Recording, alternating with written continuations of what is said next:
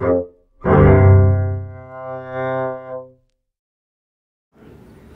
Renzo Piano. I'm the architect together with the building workshop of the Whitney Museum of American Art. The most important thing in the museum that you get lost because of art. Art is an emotional experience. As an architect, what you have to do is to create place where that emotion become more intense. It's very important that from time to time you come back to reality and you put yourself in relationship to people around you or the city. I'm a son of a builder.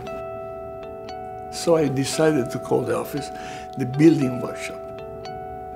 It was a little homage to my father. I have great people working with me, people like Elisabetta. We don't have to talk each other, we just watch each other. At the ground level, you enter what we call Largo, an open space. The first space inside that you see for the lobby is the restaurant. It's completely glass.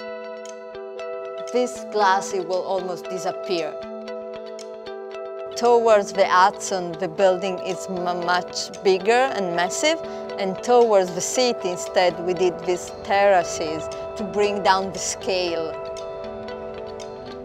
So in this specific case of the Whitney, when you walk in one of the terraces, you are basically swimming in the middle of the city. You can actually walk from the top floor to the bottom by using external stairs. Architecture is the art, the poetry of construction. Every building is a story and every building tells a story.